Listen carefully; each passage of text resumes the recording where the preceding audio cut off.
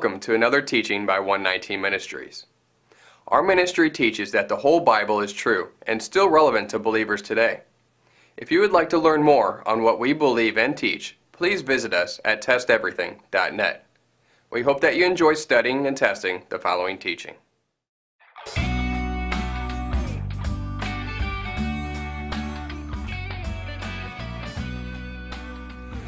Have you ever been told that there is not to be any fire on the Sabbath? Exodus chapter 35, verses 2 through 3. Work shall be done for six days, but the seventh day shall be a holy day for you, a Sabbath of rest to the Lord. Whoever does any work on it shall be put to death. You shall kindle no fire throughout your dwellings on the Sabbath day.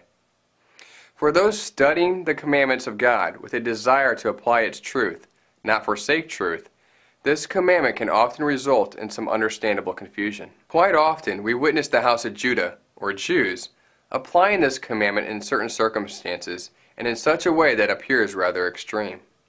On the flip side, those in mainstream Christianity witness and study what Orthodox Jews have done with this verse and immediately demand the same application from anyone teaching obedience to all of God's commandments, as if the Jews understand everything about God's Word perfectly supposedly implying that if one believes all the Old Testament to still be true, then the Jews are the perfect example to emulate.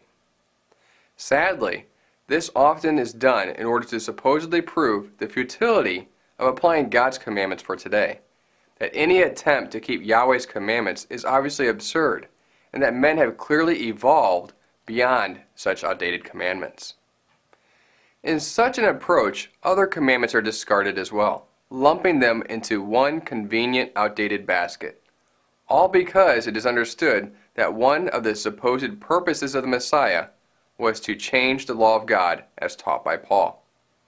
It can all quickly become a mess.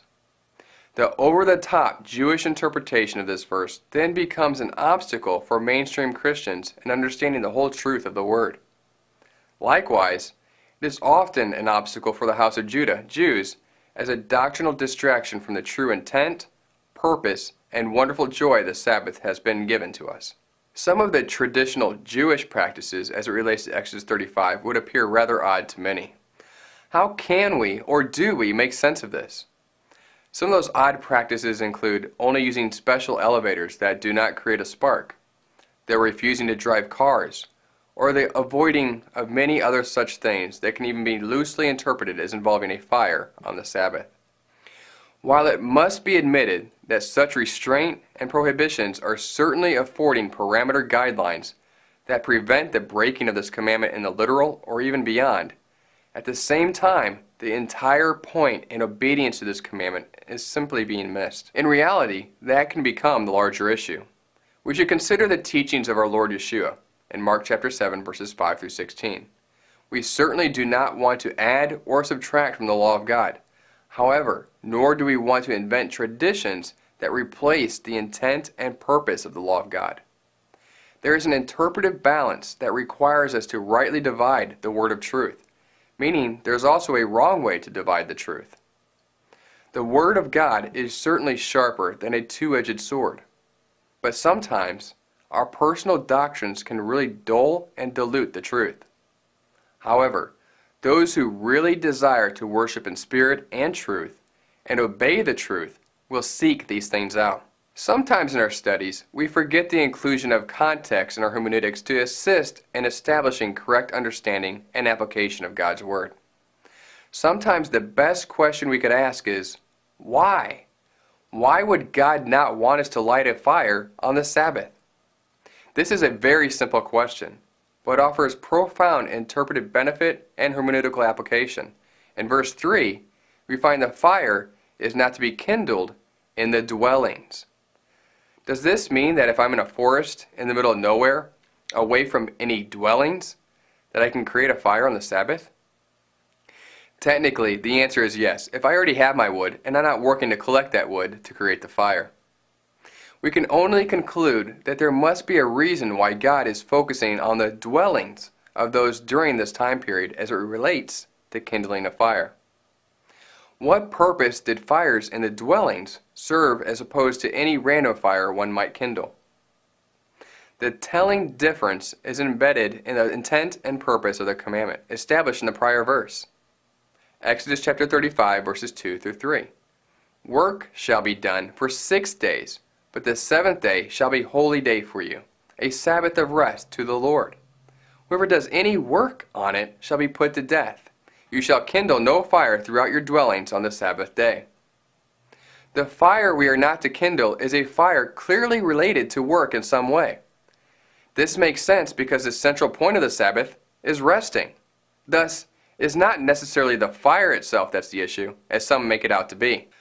We should not be focusing on the fire, but the work, which is the opposite of rest, the opposite of the intent of the Sabbath. Anyone focused on the fire has completely missed the point Yahweh was trying to make in his instruction. This explains the difference between the focus on kindling a fire in dwellings and not simply just anywhere. If it was all about not kindling a fire anywhere, then Yahweh would not have limited the instruction about fire on the Sabbath to just the dwellings.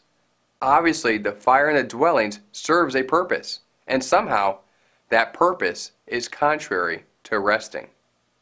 This begins to speak to what effort it takes to prepare and produce the fire, or what the fire is intended to serve, which is daily work.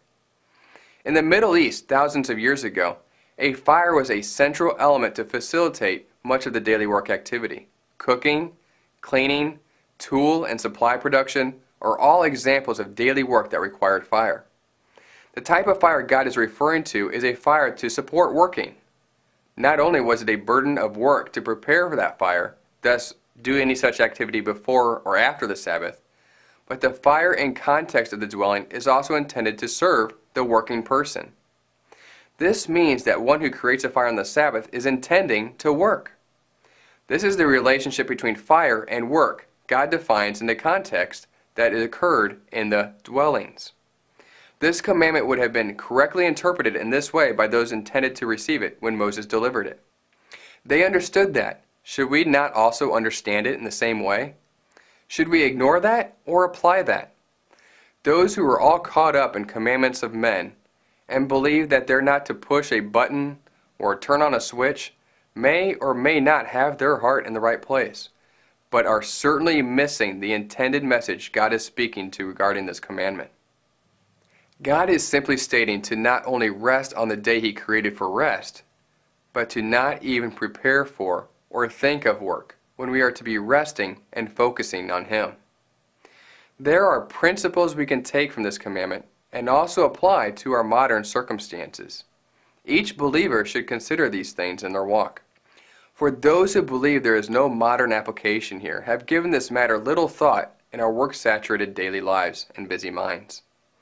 Presumably, when the prohibition was presented, kindling fire was indeed work. Starting a fire was not as simple as flipping a lighter today or pushing a button, nor is creating fire today intended, quite often, to serve our daily work. Some cultures today still use fire as a central need for daily work. We need to examine and apply these things through the eyes of the giver and receiver of the commandment, not whatever interpretive glasses that we are wearing at the time.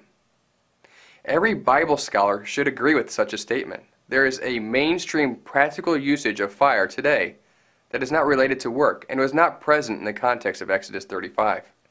More often than not, simply keeping warm in colder climates comes to mind in such an example.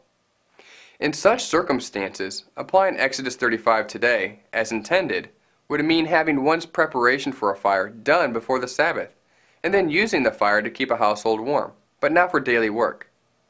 The obvious critical difference to recognize and ask as it relates to Exodus 35 is this. Is the fire intended and used for work? How that question is answered defines the type of fire and thus enabling the correct application of Exodus 35. If this was not the case, are we to believe that those in the first century that were talking and studying to the wee hours of the morning during weekly Shabbat fellowship were not using candles or lanterns? Of course they were. They were doing this before and after the cross. Would that not be defined as lighting a fire in a dwelling? Technically, it would. That means that they understood Exodus 35 in the context in which it was given. Lighting a fire in a dwelling does not violate Yahweh's commandments as long as it is not being used for work, or work to prepare for and maintain the fire on the Sabbath. Are we to believe that they were all sitting around in the dark? That would be just plain silly. The context of Exodus 35 is related to our work activity, or simply not resting, unless we want to ignore the verse prior to verse 3. Kindling a fire meant something in the context in which it was given. Can it not be agreed that we should practice a commandment as it was given? The conclusion of the matter is this. We should not work to create a fire that is intended to support more work. That is the only way the commandment could have been interpreted when it was given. Such an interpretation completely makes sense given the whole point of the Sabbath in itself. So the questions become this. Should we apply the commandment as it was intended to be interpreted? Or should we apply it how our culture would interpret it? Should the interpretations of the commandments of God change based on every new generation? Or should we interpret them through the generation in which they were given? Should interpretation be based on the culture of the reader or the culture of those present and living when the text was given?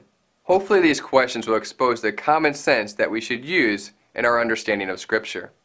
This is not as complicated as some have made it out to be. Some actually do desire this commandment to be that complicated because they love their traditions of the fathers. Some even want this commandment to be that complicated to use it as an excuse to abandon the Sabbath rest that was made for us. The reality is is that it's not that complicated. We are to rest, not work. That is for our benefit. We are not to work, force anyone else to work, nor consume ourselves with preparing or thinking about work on a set apart or holy day. Why would we want to work when he says to rest? We might just find that focusing on God, the Word, instead of traditions of men or things of the world, just happens to resonate well with our spirit. If something about ignoring the daily burdens of the world and then entering into the weekly freedom of spending time with God and His family on the Sabbath is frightening and a burden to us, then we have more complex issues to address rather than the simple matters of obedience. Resting and spending time with Yahweh and His family is a blessing, not a burden. It shows our love for Him. 1 John chapter 5 verses 2 through 3. By this we know that we love the children of God, when we love God and keep His commandments. For this is the love of God, that we keep His commandments, and His commandments are not burdensome.